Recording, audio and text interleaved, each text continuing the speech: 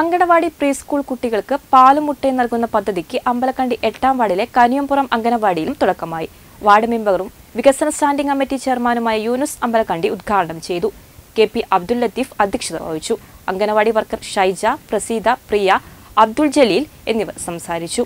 സംസ്ഥാന വനിതാ ശിശുവികസന വകുപ്പ് പോഷകബാല്യം പദ്ധതിയുടെ ഭാഗമായാണ് അംഗനവാടികളിൽ കുട്ടികളുടെ പോഷകാഹാര നിലവാരം ഉയർത്തുന്നതിനും സുസ്ഥിര വികസന ലക്ഷ്യം കൈവരിക്കുന്നതിനും ആഴ്ച രണ്ട് ദിവസം മുട്ടയും രണ്ട് ദിവസം പാലും നൽകുന്നത്.